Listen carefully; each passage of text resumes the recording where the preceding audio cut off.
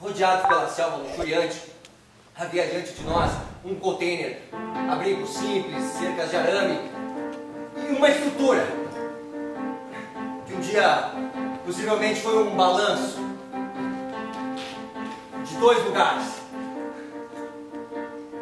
Ou um balanço normal de um lugar só. Ou a, a estrutura de um estacionamento.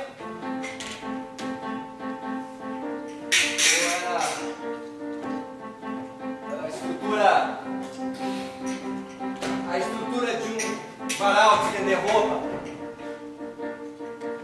Ou era uma estrutura. Uma estrutura estruturada maiores, menores. É, aquelas fendas para shows musicais. Ou não faz diferença nenhuma o que que era essa estrutura, porque ela não vai desempenhar papel nenhum nessa história. De toda forma, aquele pequeno posto devia ser a missão que o Lodete havia mencionado para nós. Na encosta, dúzias e dúzias de nativos seminus nos recepcionando amistosamente com a sua música tradicional.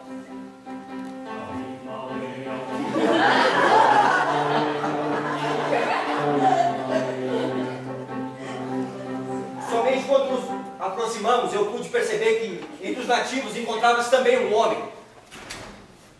Vestido. Ele adiantou-se e disse: Eu sou o reverendo Lyle Carter. Quem quer que o senhor seja que os tenha conduzido até nós, todos são bem-vindos aqui. O reverendo Carter, então, começou a nos guiar pela missão. Ele dizia: Ali temos uma panela ao fogo.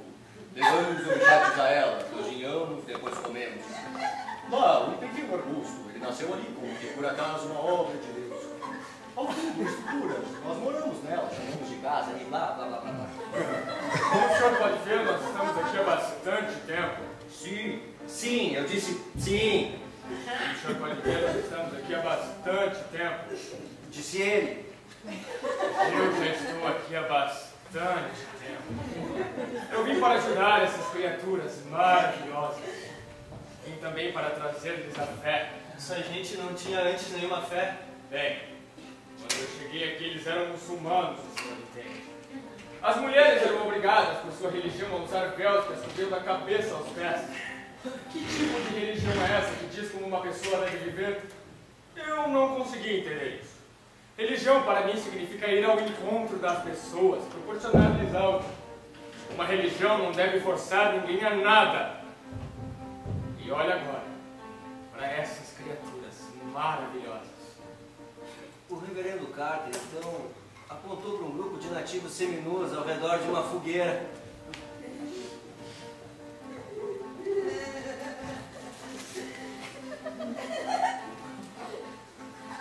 Essas jovens, essas jovens eram obrigadas por sua religião a cobrirem as suas pernas. Essas pernas maravilhosas, toda a sua pele marrom e macia, os seus lábios carnudos, nada elas podiam mostrar. Os seus peitinhos que começam a nascer, os seus traseiros redondos. Claro que uma ou outra está um pouco acima do peso. Mas, tirando isso, são todas jovens belíssimas. O senhor acredita em Deus? Não. Dizer a verdade, Tudo não. bem, tudo bem. Não tem problema. Isso não é grave. Pedra! Uma pedra no meio da grama. Ela também não acredita em nada, mas nem por isso ela é má. Ela simplesmente existe assim e tem o direito de fazer e não fazer o que bem entender. Pelo visto, ela quer ficar ali, parada, no meio da grama. Isso lhe incomoda? De modo algum. Então, então eu não sei porque